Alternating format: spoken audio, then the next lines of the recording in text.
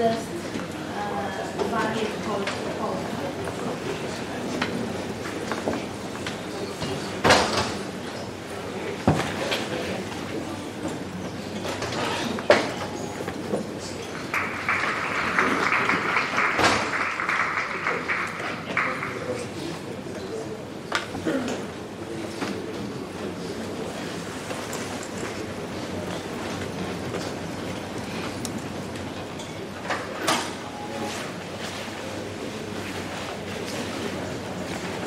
Alright. Can you hear me? No sound? No, can't hear you. Okay. Hello? Talk very loudly. Does it work now? That's better. Alright, good. So, uh, I'm here to talk to you about uh, suggesting fits for type holes. So, as a bit of a background, uh, last year at ICFP I presented a poster in the SRC which had this image. And the idea was that uh, we have this type hole, like grass and mud, and we want to find things that fit in that hole. Uh, and at that point, I could only suggest things that had the exact same type, like strings with a string. But now it's much nicer, and we can find things that are like, uh, you know, in it, if you put let A be char here, it fits, and then this weird return is like a circle, but you can squeeze it into the hole if you make everything work out. Right?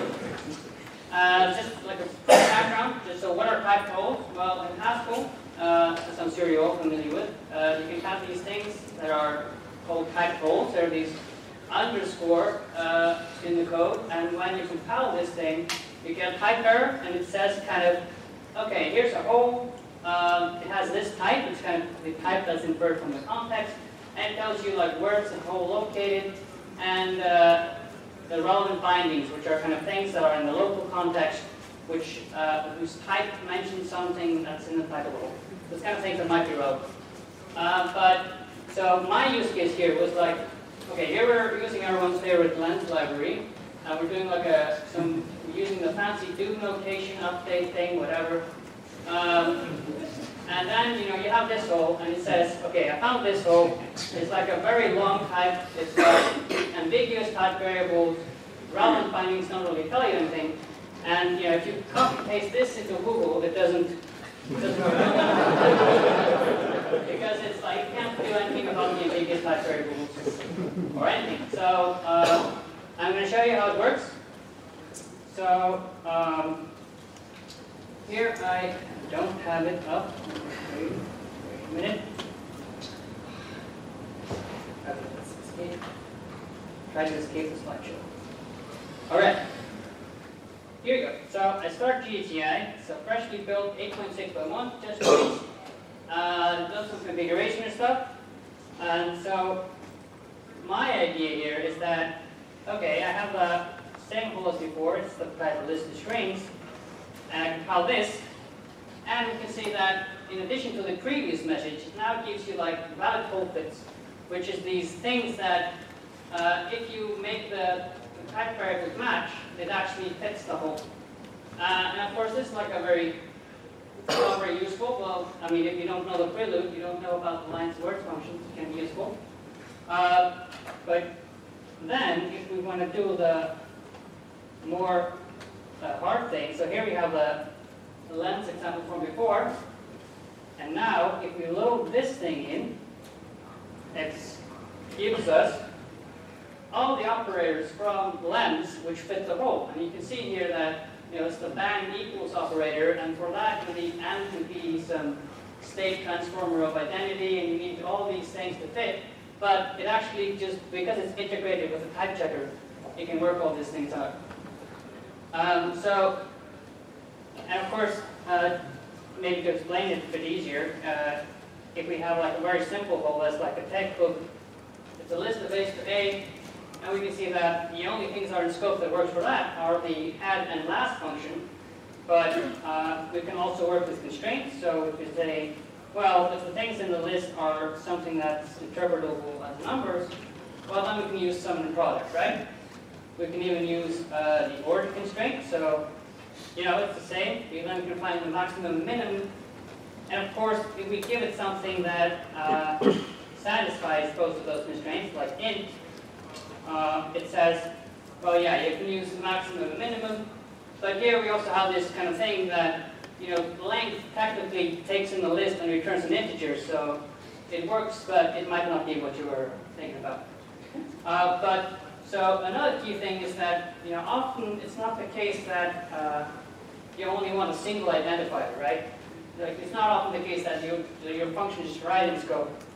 So then we do this trick of setting the refinement level. So uh, here we set the refinement level to 1, and we'll think what that means in a bit. So then we run the same check again, but now we get these refinement voltages. And the definition of those are basically that uh, we allow up to n additional volts in the expression. And then we can read out from, uh, I'll explain how we do it in a bit, but we can read out, so if you apply a foldl1 to something of type into into int, then that expression will match uh, the type that's up here, that's uh, list of ints to int. Uh, we can we can also give the kind a little higher. Uh, so we do it, you know, for two. I mean, we find foldl, we find foldr, and of course, you know, the const function will always work. You, you just just take anything it works.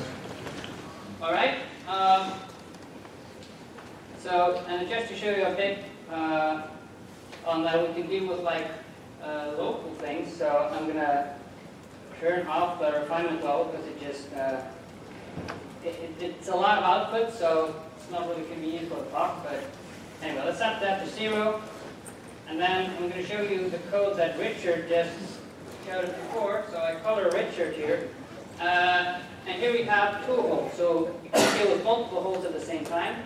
Uh, and here we have a hole for in the map application, and we have a hole here in XConf. And then if we load this file now, uh, it says, well, okay, it finds both holes. You can kind of, oh wait, I named them both A. Anyway,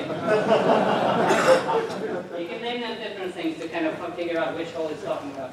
But here, you know, this is the ladder hole, I guess. It has the vert type to This is, of course, with scope type variables. Um, and for that, it says, okay, yeah, I can pick up the xconst that's like from the local where binding, and I know that all the type variables there are the type variables that you actually you were talking about in this type. And of course, it can also find kind of the uh, x here because A is like uh, it's the only thing of type A that's in scope, and then you can say, okay, yeah, the only valid hole fit is x. Um, so just more background. So this is kind of inspired by something in Agda and PureScript, where they can like find, you know, generate entire uh, programs just based on the type. But uh, we're in Haskell, so we don't really have dependent Haskell yet. So it's often the case that there's going to be a lot of things in scope that fit the type. So we want to kind of be able to just suggest a list of things. Uh, so my idea originally was that uh, I was so I was going to do some hardware, but then I decided not to. Uh, and the idea was that, okay, you have libraries of functions. So here I have uh, a library of sorting functions. And I've kind of encoded uh, O notation in Haskell. It's a very simple encoding. It just deals with n and log n. And here I can like say, okay, here's a new type. It's just a wrapper around a list, but it's kind of, I can annotate the properties that I want to hold uh, for values of this type. So here I say, okay, uh, insertion sort, so with O notation, of course, everything that's O of n squared is also O of n and uh, cubed.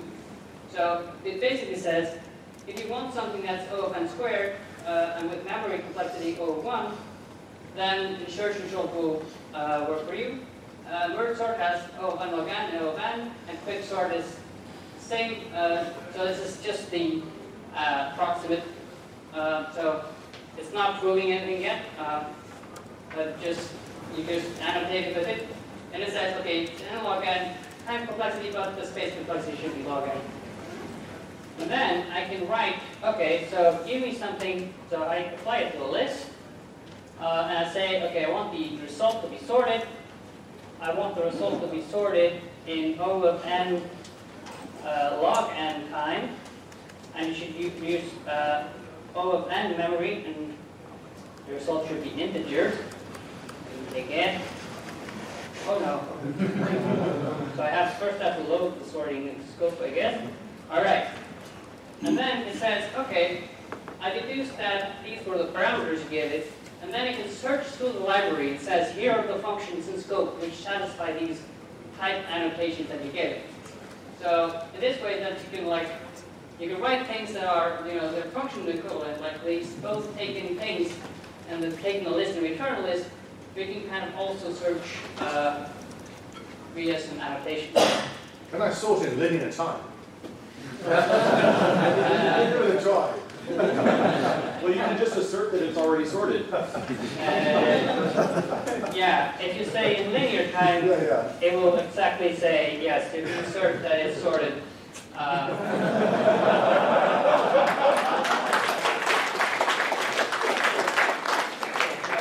show you One more example before I show you how I did.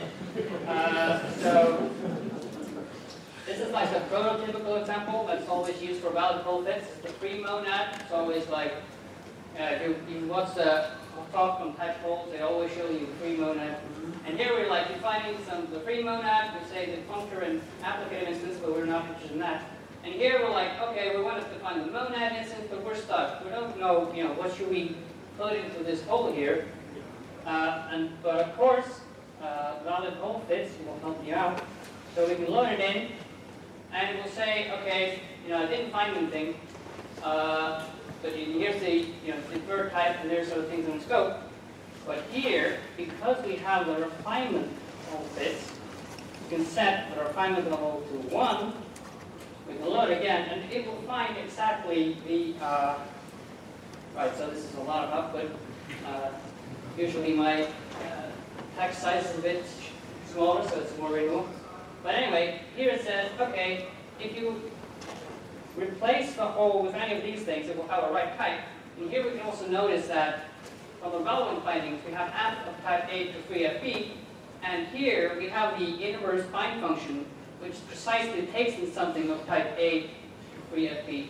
So if you apply this function to the f, then it matches the fact, and that's exactly the definition of uh, this path.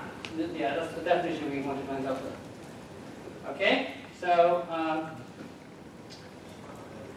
let's go back. So how do I do it? Well, let's scroll over everything again, and yeah. So it's all based on the existing type checker and constraint installer in GHC. So when we would do this during error, uh, like when we when we, when we hit a, a hole error, so it's a type error, and during error reporting, we kind of extract from the hole error the local context of that error, and we're also we are doing it during uh, type checking, so we have the environment already, and from that we get the candidates. So these are just local uh, and the things from the local environment and the global reader environment. Uh, and we take the type of the hole as well from the hole error, and from the type of the hole we use the uh, there's a function called TC subtype NC, which generates like subtyping wrapper constraints, which basically is the wrapper that takes you from type ID to the type of hole uh, during after you compile. So we put that in. Uh, we also get the relevant constraints from the local context.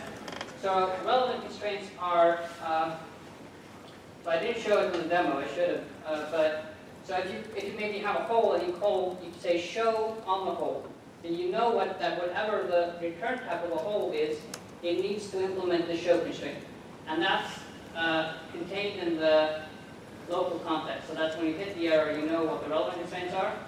But you also have givens, so you can also say, okay, I have something of type A and it satisfies the show constraint, so we can extract that and we also, so we can feed that to the type checker to get the, uh, so it can figure out that A is valuable. Anyway, now we just filter this. Uh, we filter the candidates by uh, using the simplifier to basically simplify these constraints and to check whether we can make PID fit uh, uh, the type of. So we've taken the candidates, they go out, but uh, as we saw before, uh, we also sometimes get a lot of fits. So we try to sort it by approximate relevance. So I'll explain how that's done in a bit, but we kind of try to make it so the most relevant uh, suggestions are at the top. Then we get this output. All right, now it's no longer in the process. Anyway, uh, so yeah, so this is a, an example of the output. How do we do refinement fit? Well, we get this flag that states the refinement level, and then we generate n free type variables. So these are just fresh type variables. They have no strings on them or anything in scope.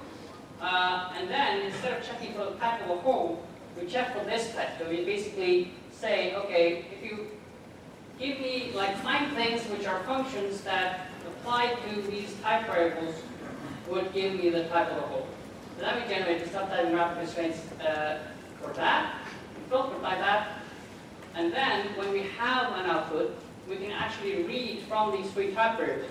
Since uh, the type checker does uh, constraint solving by uh, unification, so it has a side effect on these type variables, uh, which are actually kind of hard to deal with because I, I do so many checks on the same thing that I have to kind of wrap it. But we can read from these things, uh, and then we can put that into the output. So here, we would have said, okay, uh, it's A1 to uh, list the strings, and then the A1 during this uh, filtering and simplification will have be been unified with the type chart to the, string, and then this map will, you need to apply to something of that. So in this way, we can also show the, uh, the, the, what, the what the types you actually, actually need to be. All right, so we sort the output. Well, uh, so we have this, so if there are more than six matches, and six is kind of inspired by the relevant bindings because they only show the six six fits, so I just decided to go with six. And says, okay, some hole fits, yeah. Uh, so we want to kind of make sure that the top six, or just the, that it's in order. It's of the most relevant thing. Uh, so we have two ways to do that. The first is to sort by size. So uh, here's the example I showed you before. Uh, and then we're trying to kind of sort by the size of type application. So here, lines, you don't have to apply any effect. It just matches from the beginning. So it has size zero. Uh, repeat, here you have to make A take the type string. So you have to apply it to that string. And uh, string is list of characters, so it's two constructors, so that's the size two. And for empty, that's kind of uh, kind of far away. You're using the monoid instance for functions, using the monoid instance for list. Uh, so, and it totals out to being like one, two, three, four, five, six uh, constructors total in that type. And the idea is that, you know, if you have the exact same type, it's probably very relevant. And if it's like very far away, like undefined or something, it's probably going to be, you know, it has to take the exact type, and that's probably going to be a big size. Um, and what we also do is that we, we kind of we nub the various uh, applications. Since, uh, like in the foldl example, it's like A to B, but if A and B are equal, it's kind of still not as far away. So yeah.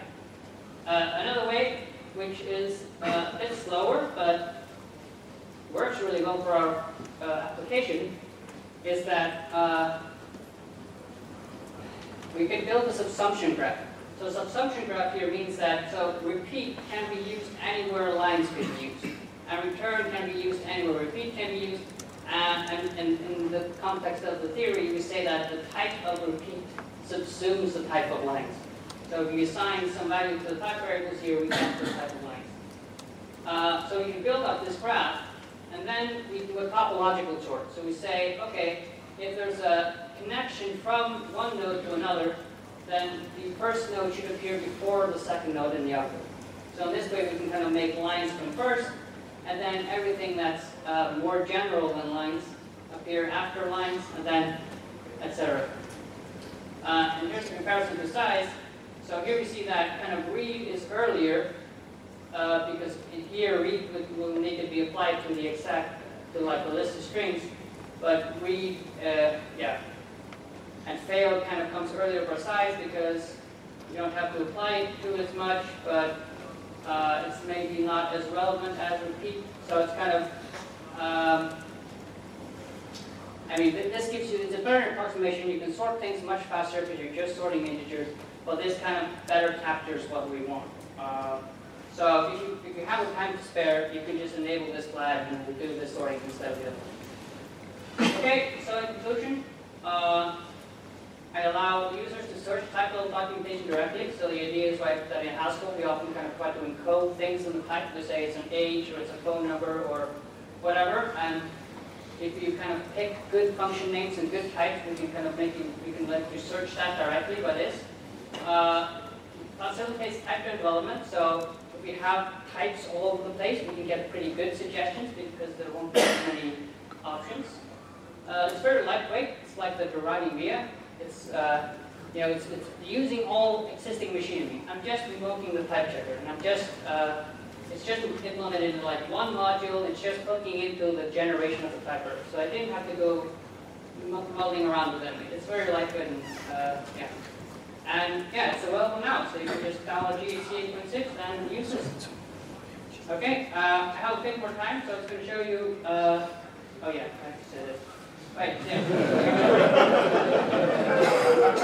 uh, so I don't consider built-in syntax, right? Uh, so the problem is here that uh, I haven't found in GHC like a list of things that are functions, but which are actually built-in syntax. So it doesn't suggest these things because they're not in scope in the global reader.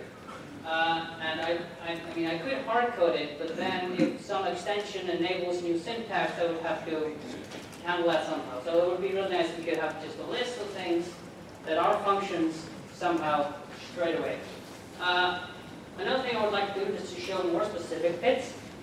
So in this case, uh, everything that's floating is also fractional, but you can't suggest pi there because you would need a tighter constraint on the a which you might not have. And it's like the idea that uh, you want to suggest maybe, okay, you have a functor here, but if you tighten it to an applicative, then you could use these things.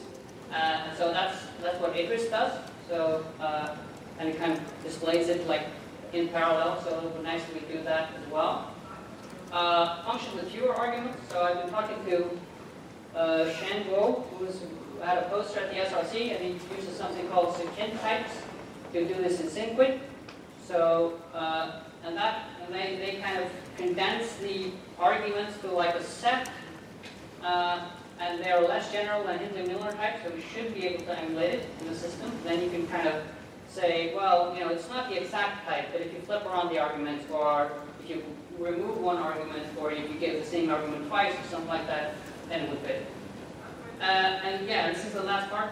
Uh, we want to use of specify invariant to specify behavior. So the idea is that, um, like like in the, the list of ints to int uh, example, uh, it, it suggests the length function, even though it's kind of doing something completely different, but you know it might fit. So one idea is to kind of integrate this into liquid Haskell, where you can kind of state these invariants. You can say, yeah, uh, I mean, I want a function, I want to satisfy this invariant, uh, and that would work really well.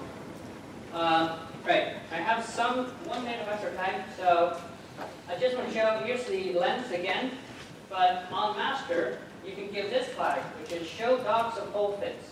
So then it actually takes the Haddock documentation and says, oh yeah, what was the less than star equals operator? Well, it's this thing, right? Uh, so you can just use it directly. But there's one uh, issue that uh, there's currently kind of no way in Haddock to say, you know, this is the brief version of it.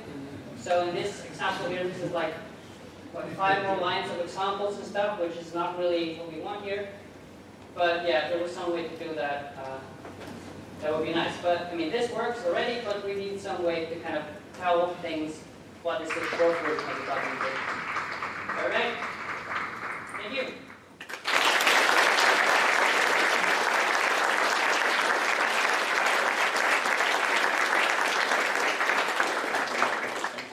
So, uh, yeah.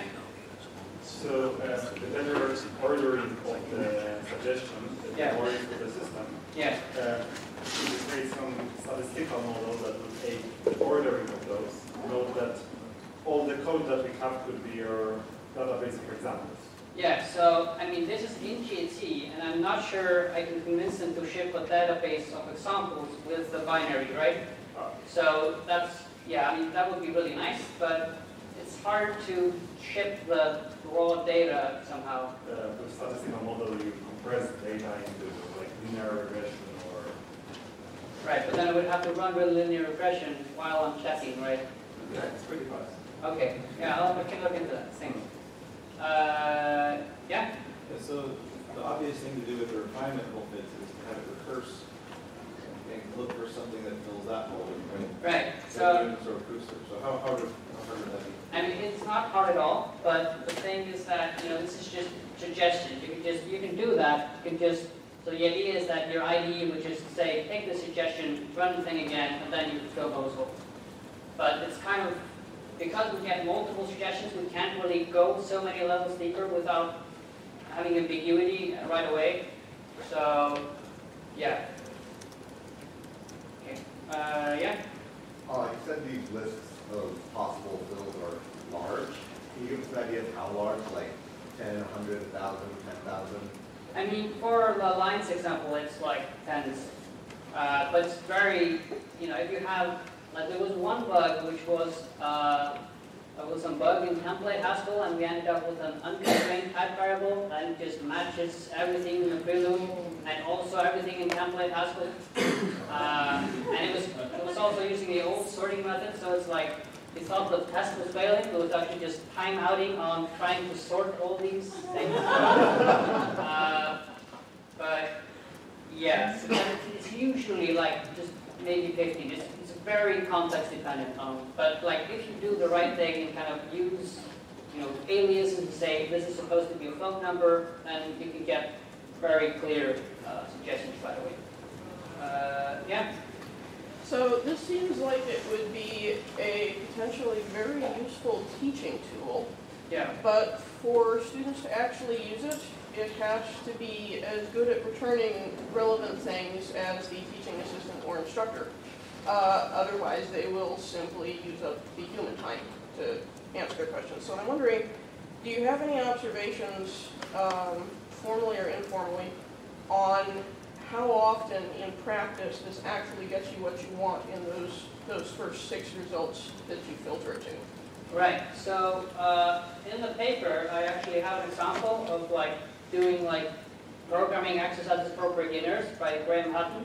And there I do like an example of you're supposed to write the halve, halve function, which you know, takes a list and supposed to, you know, split it into two lists. And there, like, the first suggestion is just like split at something of type int, right?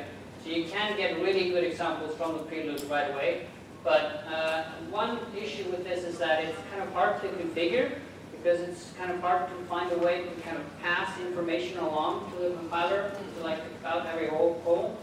So, you know, if the instructor would want it to do some custom behavior, that would be a problem. But, I mean, it is, the idea with the, especially the valid bits, is just, is if you're using an unfamiliar library, like the prelude, if you're a beginner, then you can use this to find, you know, I just want to go from this thing to this thing, and how do I do that? Right. Uh? Uh, Do you have the opportunity to resume uh, compiling if there's only one match, Uh, no, I mean, it's, it's already a typo. Okay. So I don't know if I can recover from that somehow, but yeah. Okay, yeah. Yeah, so one of my favorite features in most of my editors is the fact that if I have a hole somewhere in the program, it'll give me the type, where it is, it'll spit it out. Yeah. Um, have you gotten this working in any editors, and if not, are you telling anybody about editor? Uh, So I know that there's something going on in Terra mode for Haskell, which is basically used for this to kind of come up with, uh, like, like autocomplete suggestions that, you know, you just put a hole and just gives you a list of five things that work. Uh, But I, I, I'm not really, I don't know how far along it was. It was just like a GitHub issue thing. I'm not sure if it's released yet or not. Thank you. Uh, yeah? Uh, would it be possible to filter the list of hole fits by annotating the hole with a list of variables that could appear in the code? Uh, Maybe, but the, the issue is that we don't really have special syntax for kind of what applies to this hole or not, right? It's only, I can only pass the information via the the hole.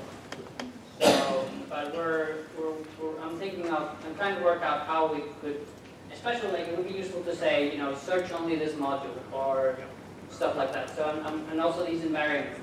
So I'm trying to figure out how we kind of add additional syntax things to be able to give it more information. But then I would have to, you know, mess with the parser and stuff, so I didn't want to do that in the first go. You could use and fragment on the module. Yeah, yeah, but yeah, we could do that. But do they, yeah, we're not, maybe, it- yeah. Yeah, But we're looking into that.